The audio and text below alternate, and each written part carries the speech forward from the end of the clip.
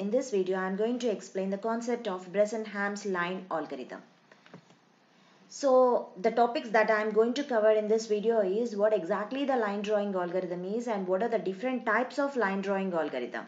So, just give the introduction uh, regarding this uh, DDA line algorithm and Bresenham's line algorithm and what exactly the midpoint line algorithm means. So, these are the three different types of line uh, drawing algorithms mostly used and what exactly the Bresenham line drawing algorithm with an example. Okay, now let's start the topic. So before going to understand what exactly the line drawing algorithm is, uh, first what is a line? So you all know that this is a line, right? So what is the definition of this line? A line is a part of a straight line. So this is a straight line, right? So in this, this is a part of a straight line which extends in the uh, opposite direction indefinitely. So this will be extended in this direction and this point will be extended in the direction. So indefinitely this line is going to be extended. Okay. So this is a line. So the line is present in between the two endpoints. The line is present in between two endpoints. So what is a line drawing then?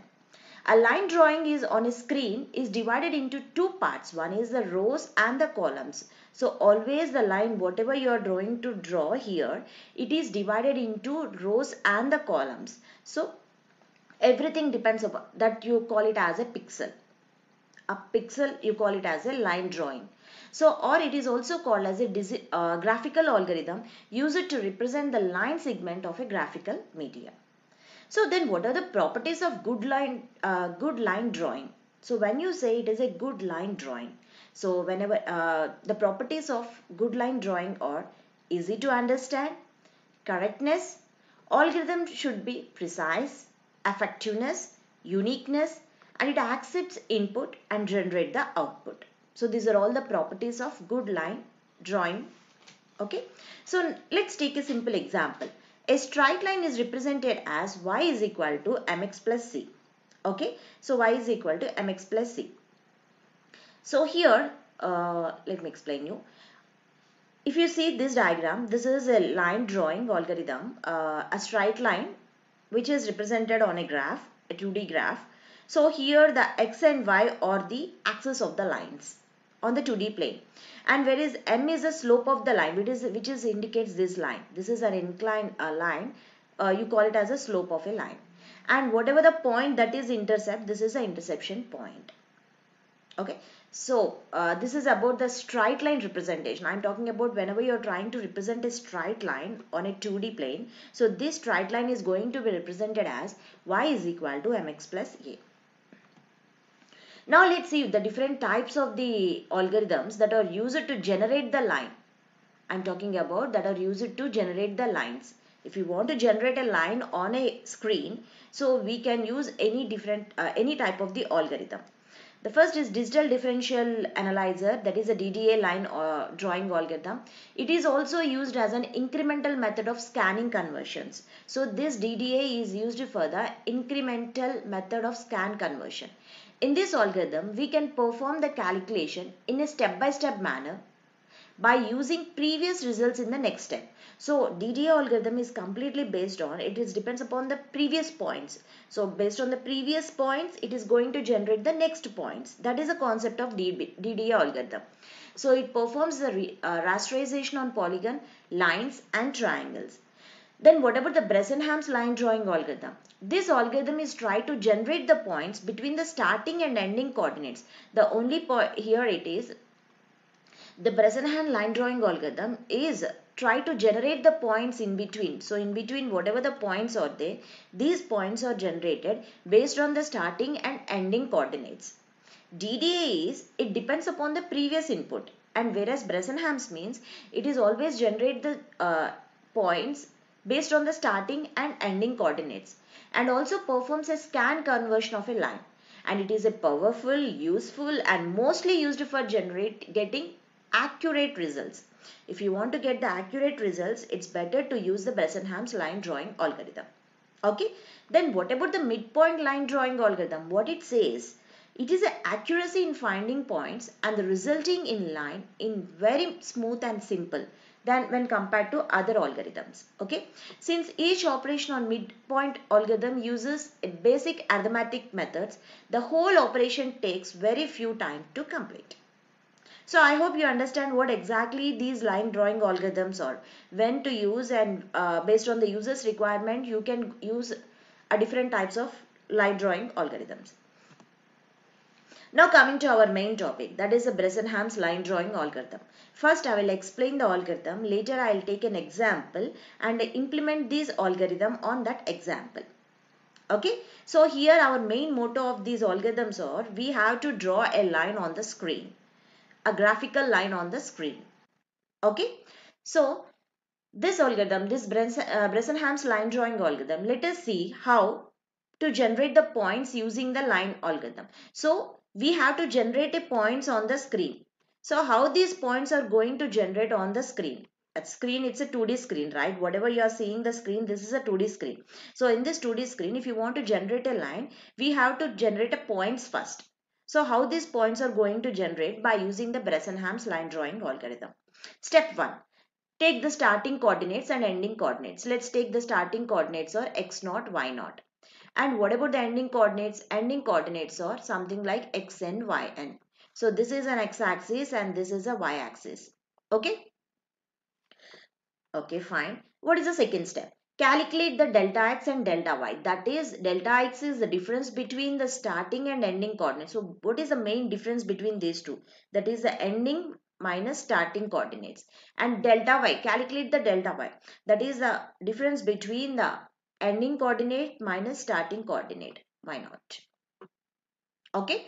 Okay, step 2 is over. We had calculate the difference between the starting and ending coordinates. Now calculate the decision parameter. So here the, in Bresenham's line algorithm, pk is playing a very important role. A decision parameter.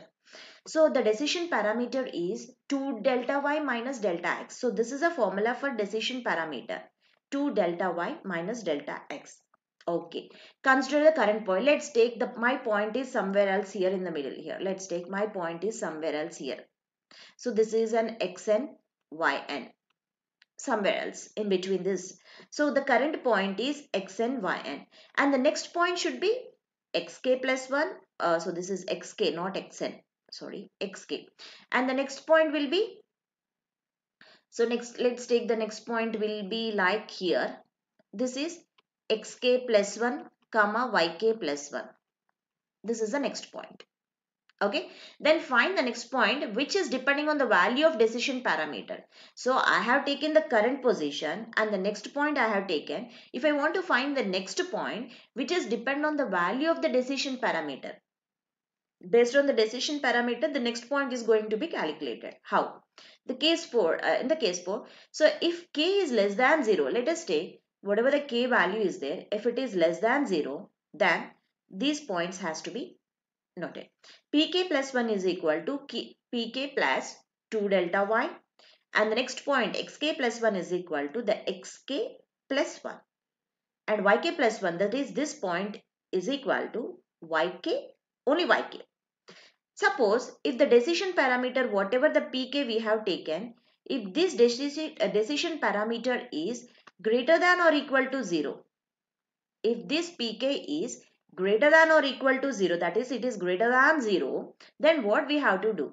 You have to pk plus 1 is pk plus 2 delta y minus 2 delta x and xk plus 1 that, that is this point is equal to xk plus 1 and yk plus 1 so repeat this step 4 repeat this step 4 until end point is reached or iteration equal to delta x minus 1 times anything.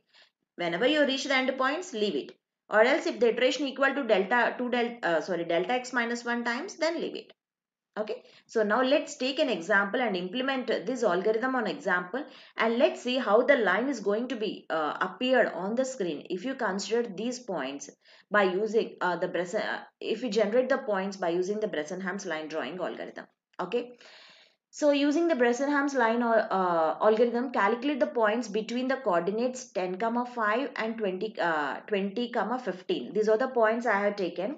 So here this is x naught, y naught and these points are xn, yn. Okay. So the given starting coordinates or you call these are the starting coordinates. It's a starting coordinates and these are the ending coordinates. Okay, ending coordinates.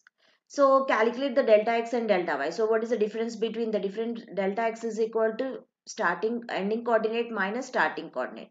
And what about the delta y? Ending coordinates minus starting coordinate. So you got if you substitute the values of starting and ending points delta x you will go, you get it as a 10 and delta y is also a 10 then calculate the decision parameter. So pk is equal to 2 delta y minus delta x according to the algorithm. So 2 into 10 minus 10. So you will get that pk is also 10.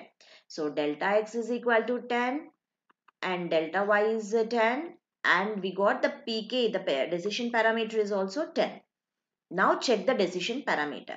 pk is greater than or equal to 0. So we got pk is equal to 10. So whenever we get decision parameter is 10 which is greater than or equal to 0 then we have to the case 2 is satisfied. That is pk plus 2 delta y minus 2 delta x xk plus 1 and yk plus 1 so then the first points whatever it is there you substitute this and you will get the the next parameters. That is x naught and y naught. After x naught and y naught that is the x uh, xk plus 1 and the yk plus 1 okay xk we have taken and yk we are taken and xk plus 1 and yk plus 1. So 11 and 6 are the point. So we have to repeat this uh, step 4 is uh, executed until you reach the end point. So see here. This is a table that I generated here. So this is 0 and pk is a 10 and xk plus 1 is 11 and yk plus 1 is 6. Now again check is pk is greater than 0? Yes, pk is greater than 0.